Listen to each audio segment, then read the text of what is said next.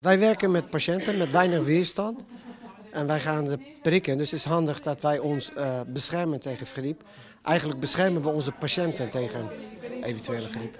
En toch haalde vorig jaar maar 17% van alle ziekenhuismedewerkers de griepprik.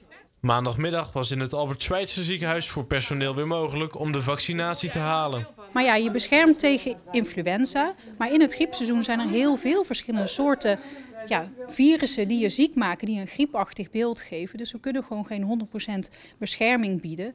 En dat zorgt ervoor dat heel veel mensen zeggen van ja, we doen het niet, want ja, het werkt toch niet. Of ja, het doet mij pijn of ik word er ziek van.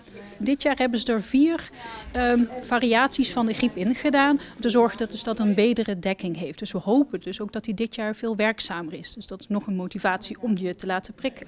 De medewerkers die de prik wel kwamen halen, willen hiermee niet alleen zichzelf beschermen tegen griep. Ja, sowieso om niet ziek te worden. En uh, ja, waardoor ik ook uh, niet ziek hoef te melden op mijn werk. En ook om het niet door te hoeven geven, dat je het niet doorgeeft aan patiënten. Ik vind het belangrijk uh, voor de patiënten dat je kwetsbare patiënt beschermt. en het is gewoon handig voor jezelf dat je ook betere beschermingsgraad hebt. welke afdeling werkt u? Op de nucleaire geneeskunde. Daar uh, komen uh, onder andere kwetsbare patiënten vanuit de oncologie. Dus dan uh, nou, is het extra belangrijk.